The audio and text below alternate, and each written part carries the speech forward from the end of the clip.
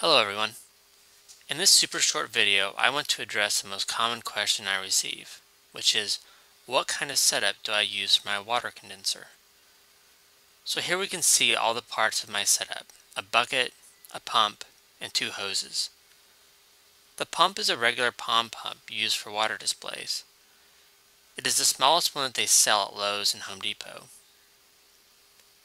The hose is about 3 foot of air hose, also sold at Lowe's and Home Depot. I use this air hose for several reasons. The main reason is that the outside diameter happens to fit the opening of the pump perfectly, while the inside diameter fits the glass barbs on the water condensers. Also, I like this hose because it's very rigid. I used to use latex tubing and found that it could collapse under the weight of the water and stop the water flow. This can't happen with the air hose. When setting everything up, the pump has small suction cups on the bottom, which allow it to be suctioned to the plastic bucket.